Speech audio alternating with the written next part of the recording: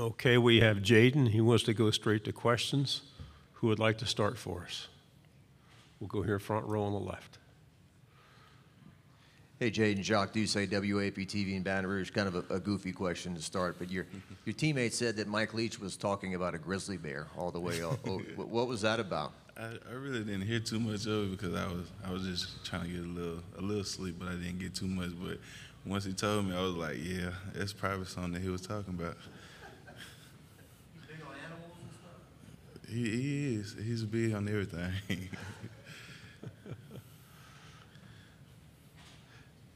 okay, third row on your left. Pleasure to meet you. David Edelstein, WJTV, CBS Television in Jackson, Mississippi. Um, got a lot of experience, obviously, playing uh, coming in this year, and um, just wondering what, what sticks out to you about this season? What, what do you think might be different um, about the Bulldogs come 2022 start?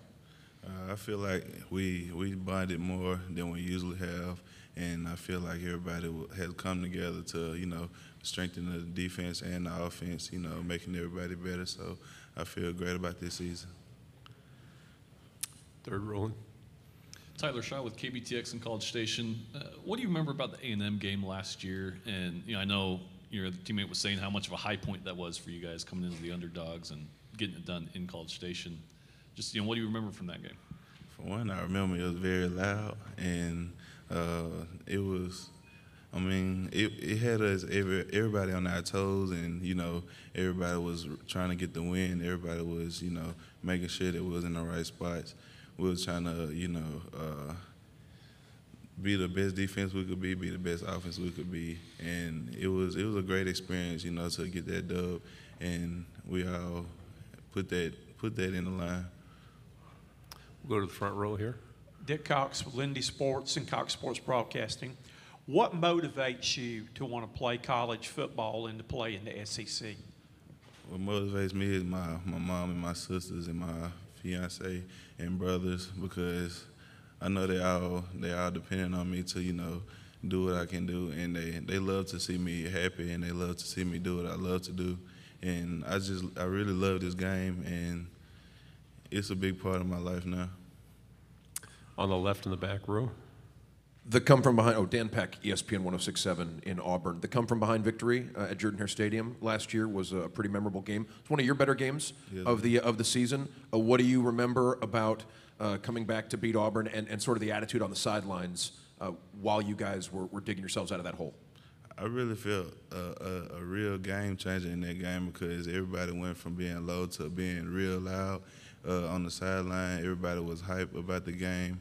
Everybody was ready to win that game, and it was a it was a real great experience coming all the way back to to win that game. To your right, third row. Uh, you know, with all the highs and lows you guys went through last season, what what was your biggest takeaway, or you know, what did you learn from you know what you guys went through last year? I feel like we can all face adversity as as we did, and we we all could you know, make a better uh, make a better team and come together. And I feel like we did that, and we're continuing to do that now. Go back to your left on the third row.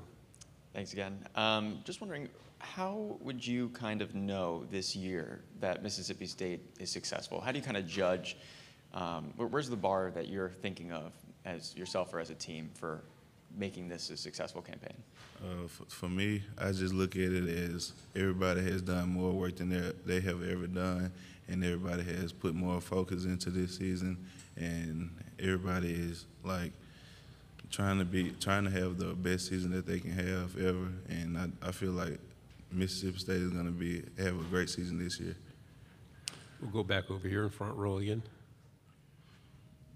What's been your greatest motivation, or who has had the most impact on your life as a person and as a player? Uh, actually, Ray Lewis was, was my favorite player because he, he was a, for me, I looked at it as he was a dog, and I mean, I wish he went to Mississippi State, but hey, it is what it is. But um, he he's a real great. He was a real great player, and his mindset and his skill was was really intelligent to me, and I just loved everything that he did, and that's what I, that's where I got the the motivation and the grind from him. To your left, back row again. How did you find out that you were going to be one of the three uh, players representing your team at SEC Media Days this year? And is there anyone on the team that, that has had uh, a really impressive offseason that, that you'd like to recognize? Uh, we found out from uh, from Brandon, one of our guys, and he told us, and I, I was very shocked because I never thought I would be doing anything like this. And then like uh, this is really something something really blessing to me. And one guy that I want to shout out uh, on our team is Cameron Young, because he he showed that a lot of um, progress and he helps a lot of people and he makes sure everybody is doing their business and he's a, a great leader. How important is the Egg Bowl? He's a what? How important is the Egg Bowl every Thanksgiving? I mean, it got to be important if it's on Thanksgiving because that's the day that you want to eat. But that day uh, is very important to me because, you know, we got to show that we're the uh, we're the best and we can do everything that we can. And it's a blessing to be playing on that day. Front row? Uh, The LSU game two years ago, you went to Tiger Stadium, shocked them last year, close game in Starkville. What are your thoughts about returning to uh, Baton Rouge this year in that game? Uh, my thoughts on that is that it's gonna. I know it's gonna be very loud there, but I feel like we're, we're gonna do everything that we can, and I'm ready to play there. Uh, this is my, gonna be my second time playing there, so it's gonna be real fun. To your right, fourth row. Justin Woodard, KX TV, College Station. What does Will Rogers mean to your team? Obviously, he's getting a lot of preseason love and went off a pretty good season last year. What, what's he mean to you guys? Uh, he means a lot to us because you know he's a he's a leader. You know he's young, but he's a leader on the uh, offense, and he try to lead everybody that's even on the defense. And you know he says what he had to say, and is is great uh, things to bring to your uh, to your mind, and he makes sure everybody does what they need to do. We have any final questions? All right, another one up here.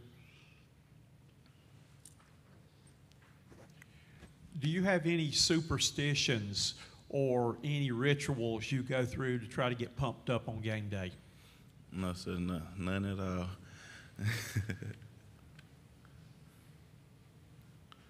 Okay, hey, Jaden, thanks very much.